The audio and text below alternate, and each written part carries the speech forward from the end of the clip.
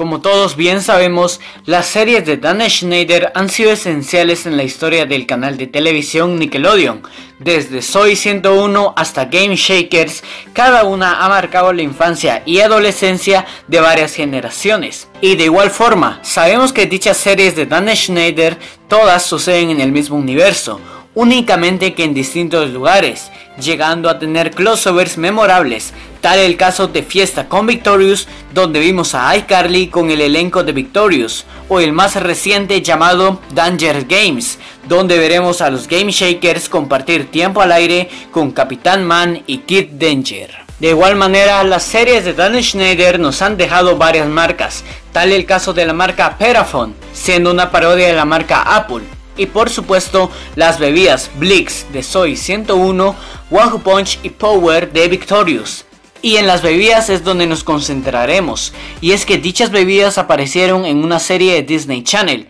la cual es El Mundo de Riley. Y es que en el capítulo número 18 de la primera temporada, llamado Gear Meets Master Plan, donde nos enfocan el lugar donde trabaja la madre de Maya, siendo esto un restaurante, aquí nos enfocan claramente la máquina dispensadora de bebidas, donde vemos las bebidas Blix, Wahoo Punch y Power de las series de Dan Schneider, por lo cual podemos creer que estas tres marcas de bebidas se sitúan en el universo del mundo de Riley y de algunas series de Dan Schneider. Pero dime tú, ¿qué opinas respecto a que estas marcas de bebidas aparezcan en shows de Nickelodeon y en el mundo de Riley de Disney Channel, que claramente estas dos empresas son competidoras.